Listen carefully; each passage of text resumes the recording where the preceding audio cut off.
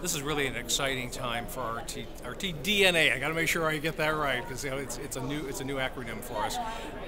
There was an overriding buy-in at this convention that we are embracing the digital future. Everyone was preoccupied with the tools, with the editorial quality of our product, and getting everybody to buy into the process because we know it's uncharted territory.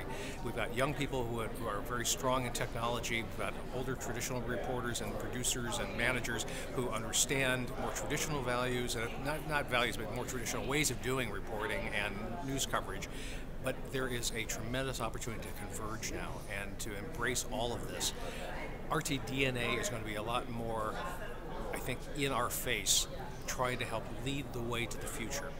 We know that we all need guidance, we all need examples, and we need best case scenarios of what is working and what may not be working as well.